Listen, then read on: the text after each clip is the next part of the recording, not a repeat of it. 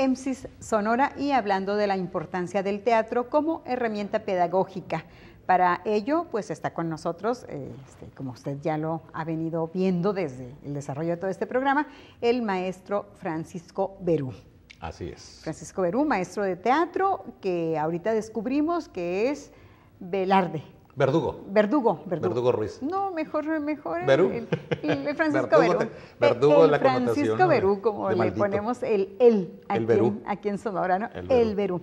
Entonces, hablábamos de que a través de, del teatro como, como herramienta en el salón de clase, como auxiliar para, para el docente, pues despierta la imaginación, te lleva a, a leer, te lleva a comunicarte y sobre todo eh, te lleva a desarrollar tu, tu personalidad. Así es. Entonces- Fíjate, eh, pues desde, desde, retomando desde la época de los griegos, desde los festivales en honor de Dionisio, el dios del teatro, luego en Roma y luego eh, eh, con Baco y luego ya en la Edad Media, Renacimiento, etcétera, el teatro siempre ha existido y se ha utilizado como tal.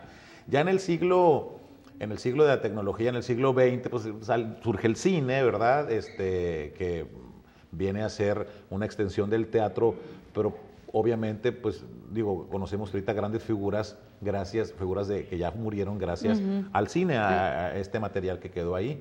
La televisión viene después, pero el teatro sigue siendo esa herramienta, sigue siendo esa maravilla para el aprendizaje, para la creatividad, para la imaginación, Rosario, y para que eh, el- la gente nos expresemos, busquemos la manera de expresarnos.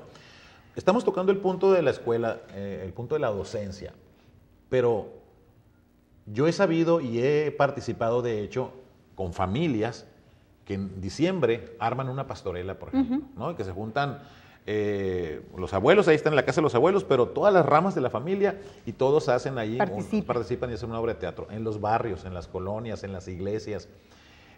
Qué padre sería, qué bueno sería, qué magnífico sería que también extra aula en, en- en tu casa promovieras en tus hijos, a lo mejor con sus primos, sus amiguitos, este, que, que en lugar de jugar a cosas que no tienen, o, o a jugar en la televisión, o a jugar cosas que no tienen este, mucho, mucha razón de ser, lo hicieron a través del teatro, ¿no?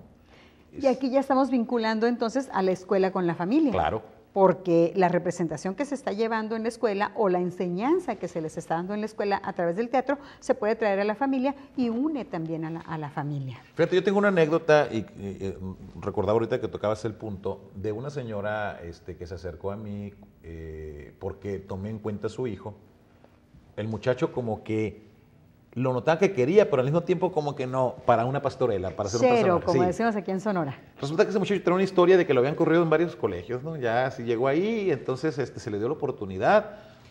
Ya como que venía mansito, voy a decir esa palabra, ¿no? Ya no venía tan alebrestado. Y daba el tipo físico para un personaje. Batallé para que aceptara, lo tuve que decir, ¿sabes qué es tu calificación? Etcétera, etcétera. Aceptó. Era cuestión de que lo hiciera, para que se diera cuenta el potencial que él tenía y la- las capacidades que él tenía y que no quería darse cuenta que las poseía. Fue una sorpresa y su, su mamá llegó ah, conmigo así en, en privado, con lágrimas en los ojos, diciendo gracias. No se imagina qué trabajo este, hizo usted con mi hijo. No fue el gran actor, no fue la gran figura. Pero le diste seguridad. Exactamente, logró cosas que él no sabía que podía lograr. Y eso también quiero tocarlo en este momento. No hay que pensar que nuestros hijos o nuestros alumnos, ni verlo desde ese punto de vista, van a ser eh, esas figuras que las va a descubrir un, un- un, este, ¿cómo se llama? Un cazador de talentos y se los va a llevar a brillar a Hollywood y a otras.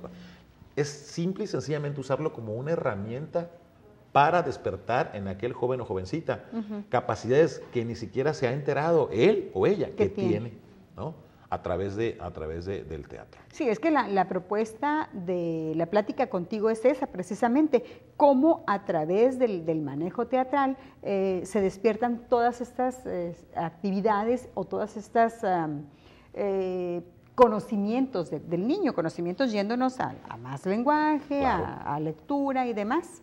Ya si en un futuro, con lo que decíamos en el bloque anterior, si en un futuro el joven o la jovencita quiere dedicarse profesionalmente hacer teatro, pues tenemos escuelas en Sonora, tenemos a la Universidad de Sonora, que tiene justamente la facultad, tiene la, la- la licenciatura en no nada más en teatro, hay música, en artes plásticas, en